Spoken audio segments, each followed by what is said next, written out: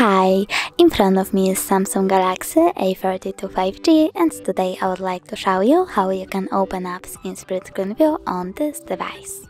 Firstly, open an app, for example messages, and click home button. Then click on the button with three lines and tap on the icon of an app. Select open in split screen view. After that, tap on any of these apps, for example YouTube.